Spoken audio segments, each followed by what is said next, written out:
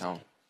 You can make a case, talent for talent, skill position. You look at you mentioned uh, Gordon and Jarvis Landry and Corey Coleman and Njoku at the at the skill position, Yeah. wide receivers, tight end, and then you go Nick Chubb, you go Duke Johnson, and you go Carlos uh, Carlos Hyde.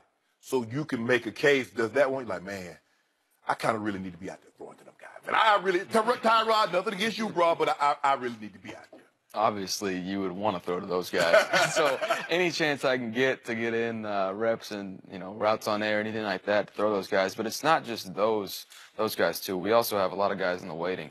Uh, we drafted Antonio Callaway, very talented receiver. You got Higgins. Um, you got Ricardo Lewis. I mean, you got another tight end, Seth DeValve, that uh, really, I think he's going to have a great year. Uh, we got we got some weapons now that um, uh, we're gonna we're gonna be able to use. and you're going up against a defense that has some young talent. Obviously, Denzel Ward's in your draft class, but Jabril Peppers is back there, and Last year's over number one Mm-hmm. overall draft pick, Myles Garrett, yeah, he's still there. Ja- uh, Jamie Collins. Mm, Jamie Collins.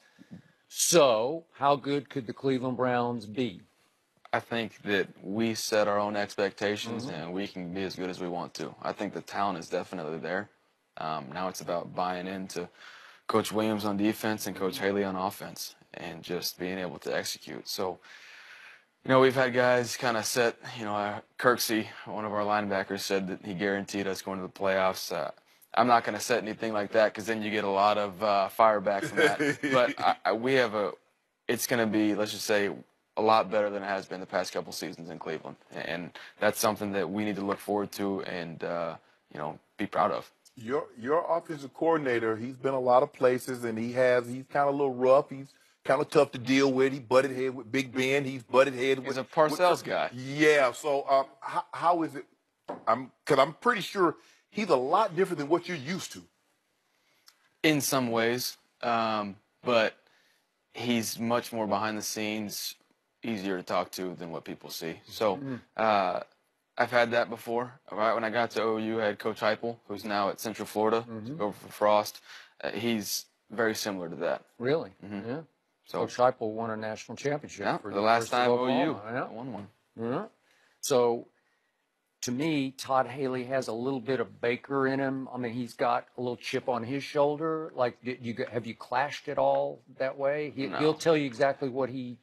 He has What do no you think? filter, which Yeah, is no great. filter. You know exactly what he's thinking at all times, which Yeah. Mm-hmm. is the way I like it. Um, But that's you know we haven't clashed heads at all because we have the same goal: make that offense the best one in the country. So uh, that's that's the plan. But normally with with quarterbacks, they're coached differently than any other position. So do do you mind being coached hard? No, I love being coached hard.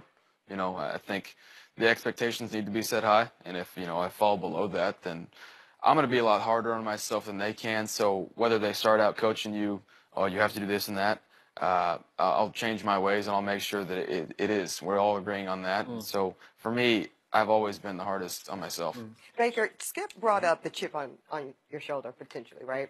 So, yes, you walked on to a college team and took somebody's job. That's awesome. But since then, you've won a Heisman Trophy and you went number one out of all the people in the NFL draft. So, I'm wondering, as you walk into the NFL now, do you still see yourself as an underdog? Absolutely. I haven't done anything in the NFL yet.